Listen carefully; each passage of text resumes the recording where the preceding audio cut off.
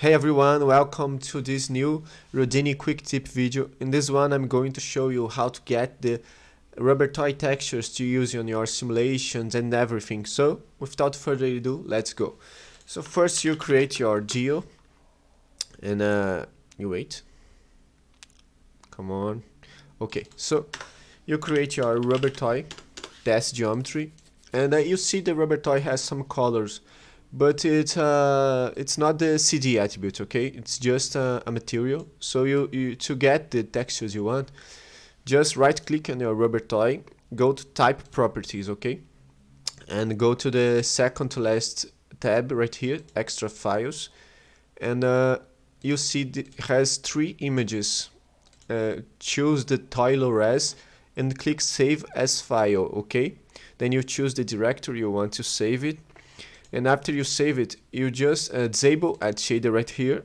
And um, you create this attribute from map right here. Okay.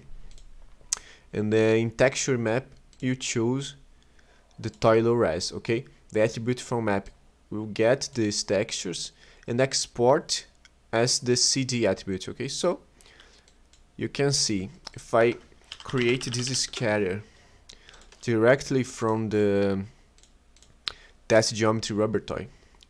Even with the add shader enabled, you can see, let's increase the, disable the relax iterations and increase the total count like that. You can see it doesn't have any color in the points, okay?